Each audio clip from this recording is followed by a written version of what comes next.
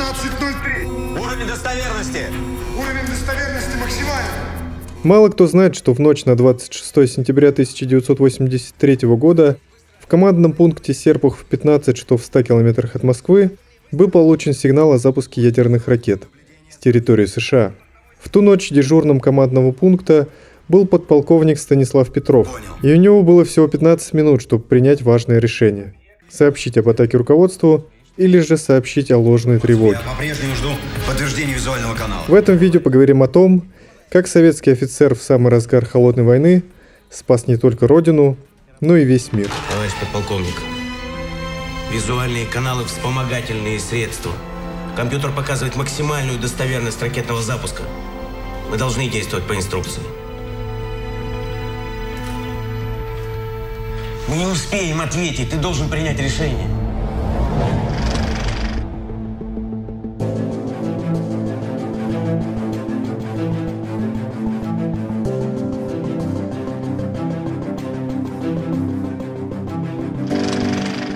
Стоит сразу отметить, что благодаря датскому режиссеру Питеру Энтони мы получили художественно-документальный фильм, который так и называется «Человек, который спас мир».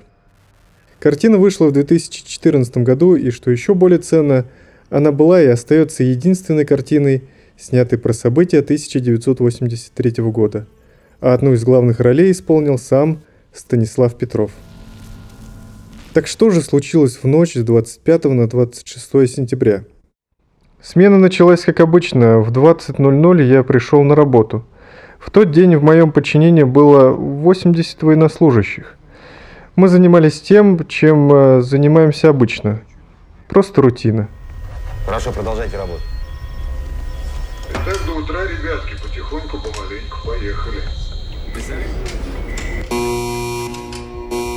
Однако уже в 00.15 внезапно появилось слово «старт». 103 101 космическая система выдала сигнал. Пошла ракета, повторяю, пошла баллистическая ракета. Система сообщила о запуске межконтинентальной баллистической ракеты с территории США. На карте Северной Америки можно было увидеть маленький квадрат возле военной базы на западном побережье. Именно оттуда, согласно данным систем ОККО, летели ракеты в сторону Союза. Сюда немедленно. Есть! И проверь функционирование всех боевых программ. алгоритмистам! Петров попытался получить хоть какое-то подтверждение данным компьютера, но все было тщетно. Черт, разве можно увидеть стар в таких условиях? В тот момент он остался один на один с нелегким выбором. Ведь согласно инструкции, дежурный командного пункта должен был оповестить командира системы предупреждения о ракетном нападении и начальника штаба. Для этого ему надо было выйти в другую комнату и сделать телефонный звонок.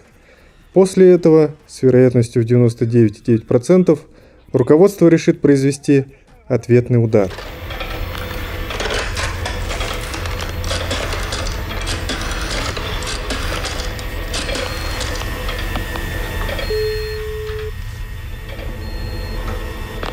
Товарищ полковник, докладывает Петров. Доложите статус. Я выдаю вам ложную информацию. Вы что, заявляете, что это ложная тревога? Так точно. Тревога ложная. Ракеты нет. Вы стопроцентно уверены в своем решении? Да, товарищ полковник, я абсолютно уверен. Ложная тревога. Я понял. Принято. Продолжайте работать. Есть. Не буду пересказывать все до мельчайших подробностей. В конечном итоге система раннего обнаружения зафиксировала 5 ракет, которые направлялись к границе Советского Союза. Выдается информация о пяти приближающихся ракетах. Повторяю. Выдается информация о пяти приближающихся ракетах. Проанализировав информацию, Петров действует в нарушении инструкции и решает ждать. И что мы будем делать? Ничего. Я не верю компьютеру. Ждать. когда ракеты будут видны на радарах второго эшелона ПВО. Время для И- подтверждения истекло. Радары не подтвердили ракетный запуск. Не ошибся. Повторяю.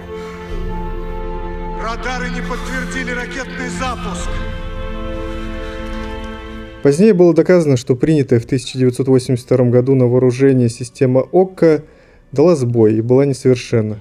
А все из-за поспешного монтажа и несовершенства технологий.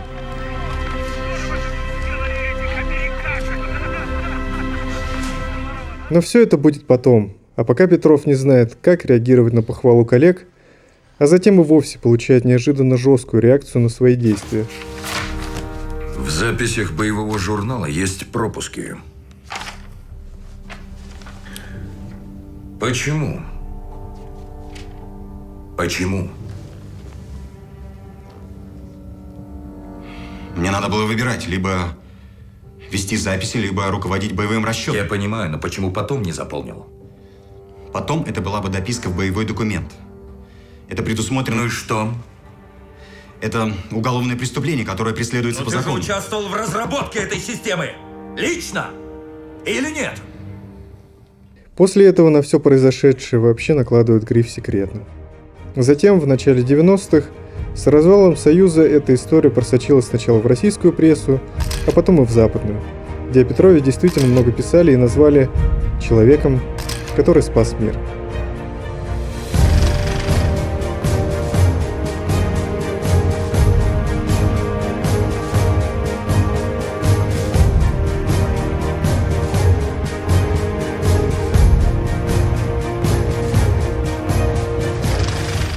Фильм Питера Энтони лишь отчасти, но, но все же раскрывает жизнь Станислава Петрова после сентябрьских событий. Насколько я понимаю, режиссер использовал не только документальные кадры его поездки в США, но и отчасти воссоздал те события. В них рассказывается, как в 2006 году по приглашению ООН Петров отправляется на вручение специальной награды Международной общественной организации Ассоциации граждан мира. Уважаемые дамы и господа, Dear ladies and gentlemen, мне очень приятно и радостно встретиться с вами в такой аудитории. Там он получает хрустальную статуэтку с надписью «Человеку, который предотвратил ядерную войну». Почти забытого в России офицера на Западе встречает как героя, но сам он себя таким не считал и всегда повторял. Я не герой. Просто я оказался в правильное время, в правильном месте. В правильное время, в правильном месте. Именно в США советский офицер становится настоящей суперзвездой, а за время поездки он знакомится с Робертом Де Ниро и Мэттом Деймоном, Как вас зовут? Мэтт Деймон. Мэтт? Мэтт. Мэтт Деймон? Да, именно так. Мэтт Деймон. Точно. Очень приятно познакомиться. с Эштоном Кучером, Я хотел сказать вам спасибо. спасибо, хотел сказать. Спасибо, что вы думали сердцем. и Кевином Костнером. Здравствуйте. Здравствуйте. Как поживаете? Кстати, Костнер лично приветствует в собственном трейлере и представляет Петрова съемочной группе. У меня тут особый гость. Мне доводилось играть героев. Знаете, я часто говорю, что мне доводилось играть людей умнее, чем я. храбрее, чем я. Мы часто играем таких людей, как Станислав, который сейчас стоит перед вами. Затем Петров с переводчицей посещает место запуска ракет, Ух ты! Да. Да, это потрясает воображение. Это серьезно. Красивая ты какая. О, да. Как женщина, в талию. При этом, как и говорил, на родине Петров жил очень скромно и незаметно. А когда в 2018 году в российский прокат вышла картина датского режиссера, то совершенно случайно обнаружили, что Станислав Петров скончался незадолго до премьеры фильма в России. По мнению экспертов, россияне расплачиваются за дорогую нефть, которая приводит к дефициту на внутреннем рынке. При мировых ценах, которые превышают 40 долларов за баррель, российские нефтяники стремятся работать на экспорт. Парадоксально вышла история и судьба человека, который не по своей воле вдруг оказался в нужном месте в нужное время. Его жизнь в очередной раз доказывает, что один маленький случай может изменить не только жизнь человека, но и историю всего мира.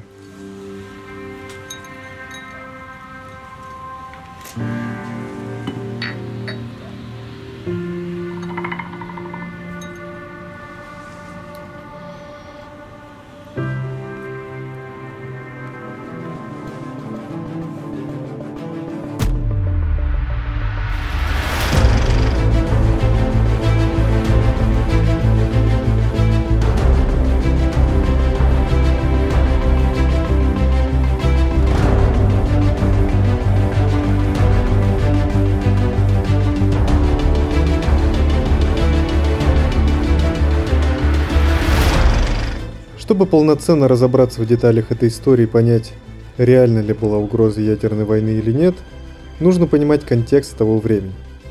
В истории противостояния США и СССР было немало кульминационных точек.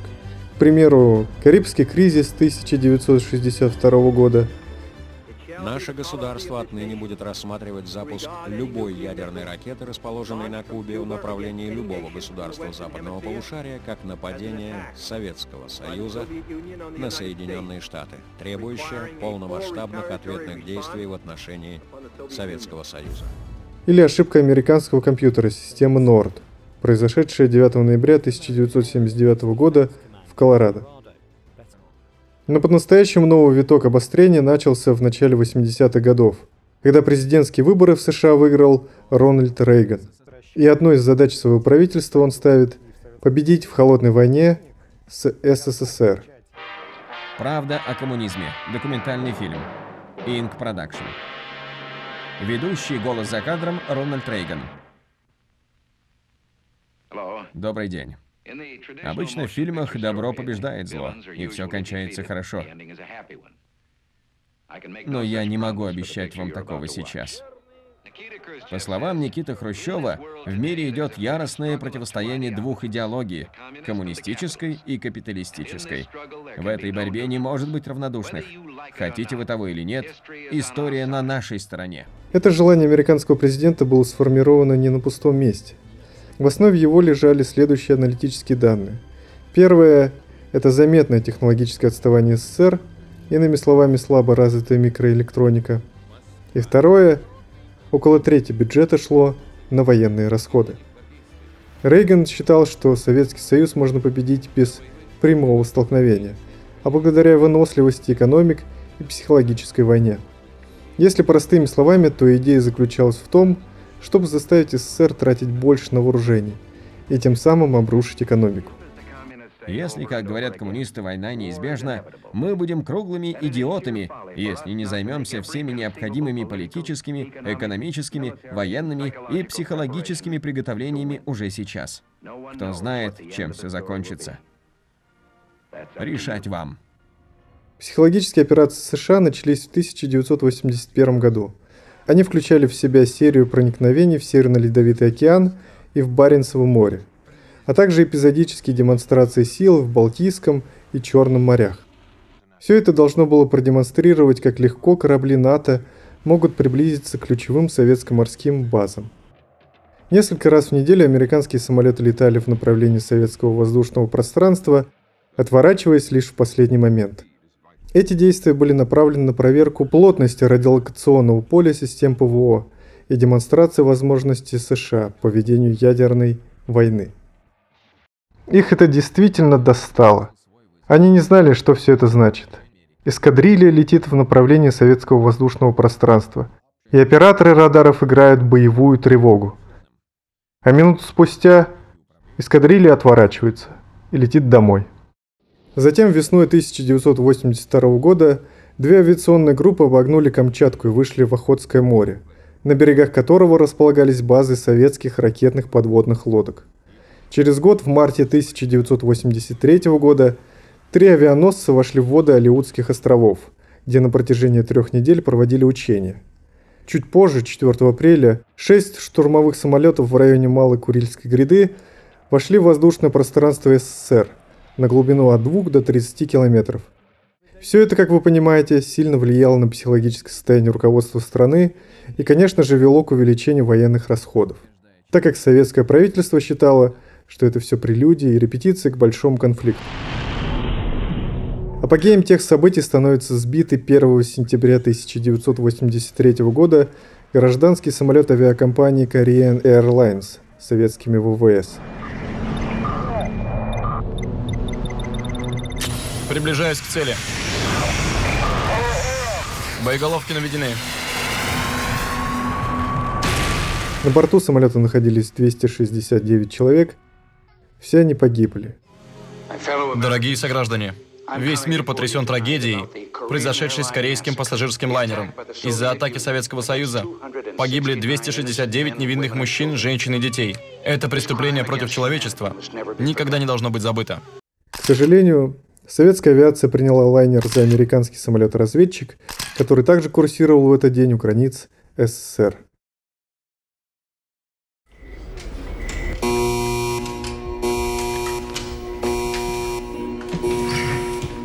Таким образом, в ночь на 26 сентября 1983 года обстановка в командном пункте была действительно нервозная. В таких условиях Петров должен был сделать важное решение, а учитывая то, что он пришел на дежурство случайно, это была даже не его смена, а коллег попросил подмениться, то становится понятно, что каждая история состоит из людей, которые оказались в нужное время в нужном месте.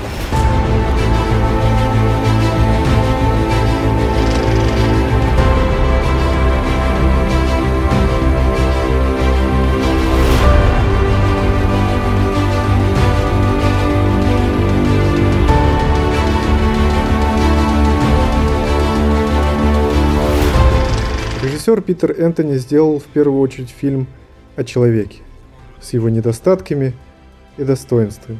Местами фильм выглядит искусственно и излишне пафосно, но от этого не менее трогательно. Прежде всего благодаря настоящему Станиславу Евграфовичу Петрову, ворчливому пенсионеру, который не может запомнить имя актера. Вот это вот Роберт Де Ниро, тоже очень большой актер, еще. Это его сын? Нет, это, это не его сын, это э, Дэймон. Дэймон. Э, и по-детски, мечтающим встретиться с Кевином Костнером. Он мой любимый актер. Фильм «Человек, который спас мир» – это история взаимодействия человека и системы, и о том, как хрупка и скоротечна наша жизнь. В генеральном штабе они уже готовы находятся. Им только нажать кнопочки и все остается. Я отлично понимаю, что никто меня не поправит. Никто не отважится. Они просто-напросто согласятся со мной. Потому что согласиться гораздо легче. Я несу за всю ответственность.